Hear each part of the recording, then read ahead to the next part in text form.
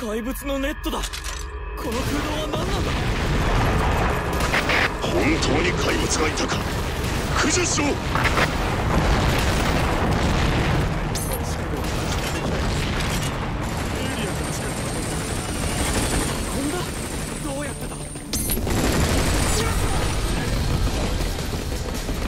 転送装置だ。怪物が来るぞ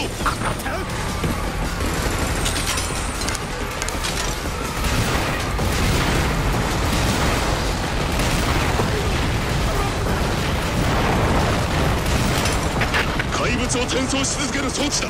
破壊しろ。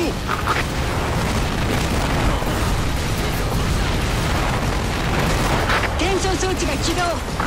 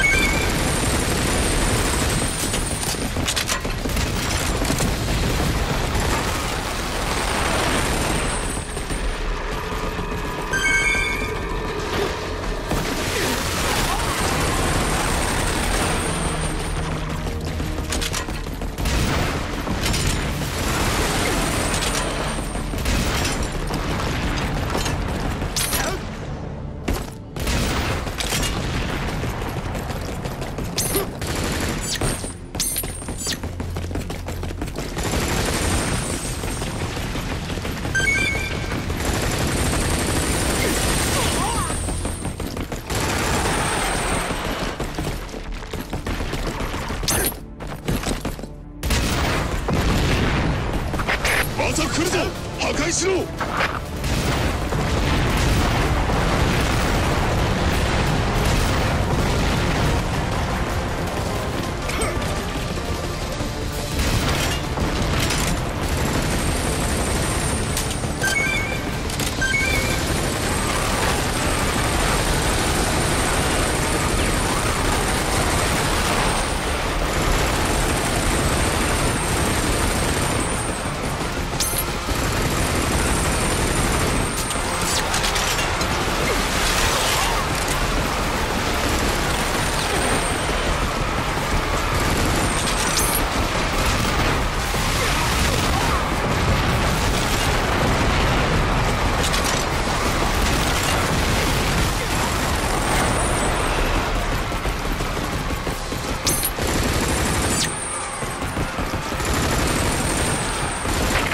奴らは地下に怪物を転送している。